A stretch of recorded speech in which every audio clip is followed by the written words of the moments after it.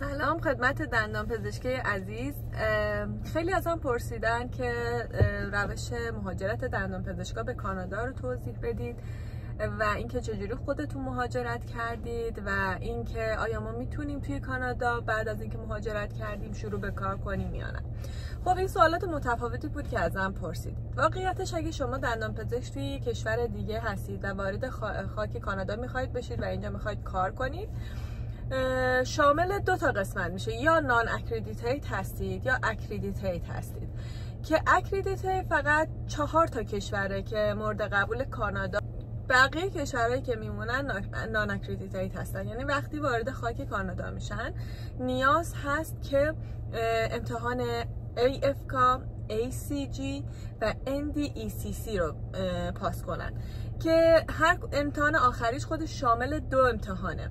خب اگه ما حساب کنیم چهار تا امتحان باید پاس کنین و اینکه بعضی از استان ها امتحان خود استانی هم داره و باید اون رو پاس کنید قسمتش اینه که مثلا شما وارد خاک کانادا میشید و خب یه بدی داره شما برای پاس کردن این امتحان ها باید تو خاک کانادا باشید و مثل کشور آمریکا نیست که بتونین امتحان assessment fundamental knowledge اون امتحان اولی رو خارج از خاک کانادا امتحان بدید. برای آمریکا میشه که خارج از خاک آمریکا امتحان بدید. فکر کنم امتحانش توی دبی یا ترکیه هستش. این مال این قسمت. اینکه آیا میشه کار کنید؟ خیر. شما نمی‌تونید بلافاصله بعد از اینکه به خاک کانادا مهاجرت کردید و بدون پاس کردن این امتحان ها شما license یا گواهی کار رو تو اینجا ندارید. حتما باید امتحان ها رو پاس کنید. حالا اینجا دو تا راه هست. اگر امتحان اول رو پاس کردید assessment fundamental knowledge رو پاس کردید شما یا می‌تونید برید دانشگاه و سه چهار سال تکمیلی بخونید یا اینکه باید بیاید بقیه امتحان ها رو پاس کنید و بعد از اینکه امتحان ها رو پاس کردید اجازه کار توی کانادا رو می‌گیرید. این از این.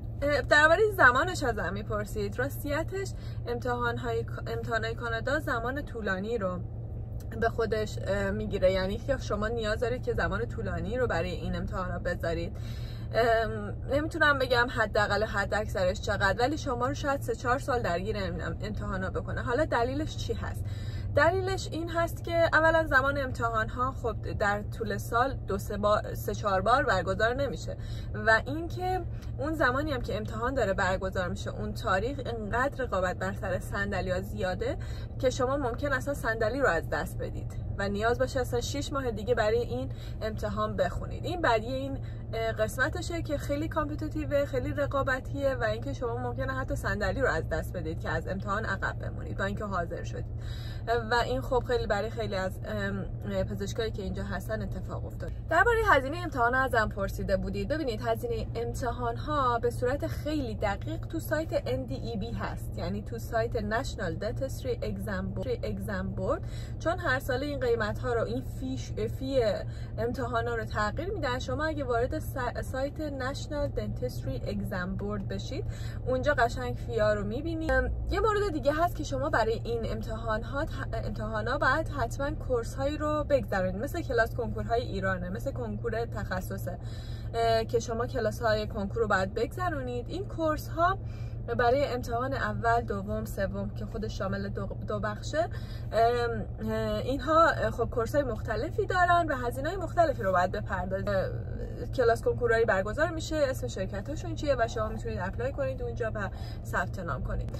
و اینکه خب شما باید material آماده سازی امتحان رو داشته باشید دیگه. شما باید حتما برای خودتون هزینه کنید. چون اینجا نیاز دارید که برای امتحان آماده بشید. ولی وقتی وارد جلسه امتحان میشید به غیر از لوپتون دیگه نمی‌تونید چیزی ببرید. اینجا بردن لوپ الزامیه چون اینجا از تو دانشگاه از لوپ استفاده می‌کنن.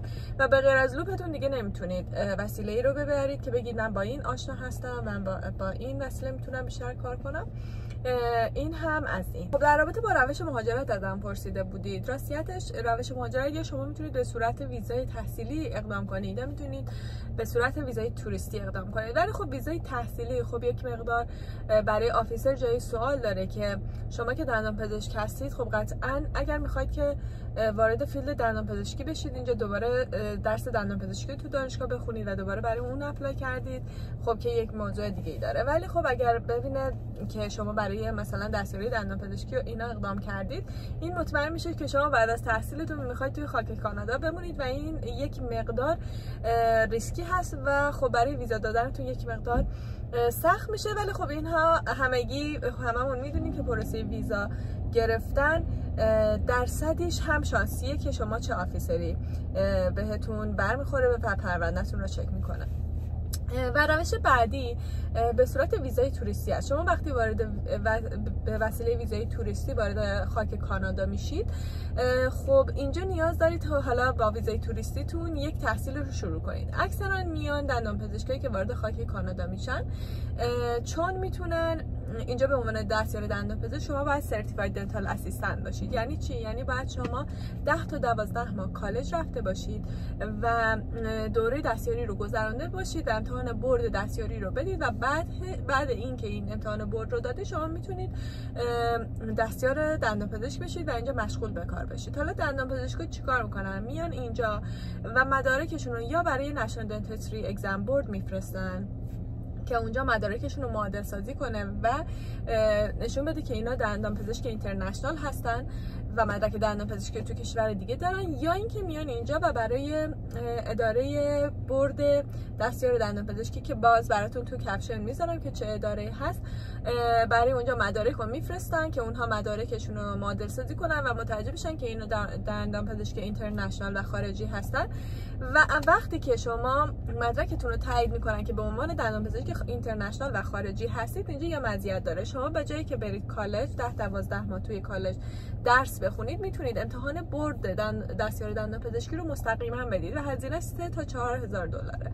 و بعد از اینکه این شما این امتحان رو دادید شما یک مدرک کانادایی دارید. می‌تونید باهاش شروع به کار کنید. تو این مدت و بعد از یک سال full time کار کردن شما می‌تونید برای PR اقدام کنید. و خب مزیتش همینه که شما همزمان با اینکه دارید برای امتحان دندان پزشکی اینجا درس می‌خونید و همزمان دارید کار می‌کنید هم درآمد دارید هم می‌تونید برای پیارتون اقدام کنید.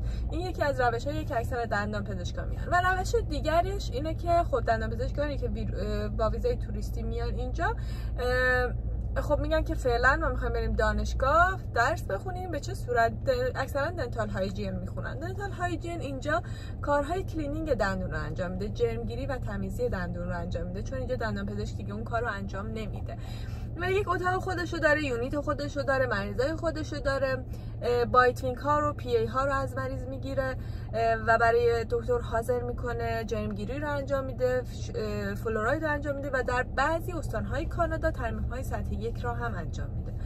ولی خب دنتال هایجین توی استان بریتیش کلمبیا چهار سال تحصیل نیاز داره و در استان آلبرتا اگر شما دندان پزشک باشید این یک دوره 18 ماهه داره و فکر می‌کنم که شما با دوره 12 ماهه می‌تونید این دو این دنتال هایجینیست رو امتحانش رو پاس کنید دو درساش رو پاس کنید و مدرکش رو بگیرید. و این دنتال هایجین درآمدش تقریبا از ساعتی 40 دلار در استان بریتیش کلمبیا شروع میشه و بستگی به سابقتون داره تا ساعتی 60 دلار هم میره. خب اینا چیزایی بود که به ذهنم می‌رسید و براتون توضیح دادم. اگر فکر می‌کنید که چیزی داخل این ویدیو نبوده می‌تونید داخل کامنت ها برام بذارید. من سعی می‌کنم همه سوالاتون رو تا جایی که می‌دونم و با خبر هستم جواب بدم. و اینکه امیدوارم که این ویدیو براتون مفید واقع شده باشه.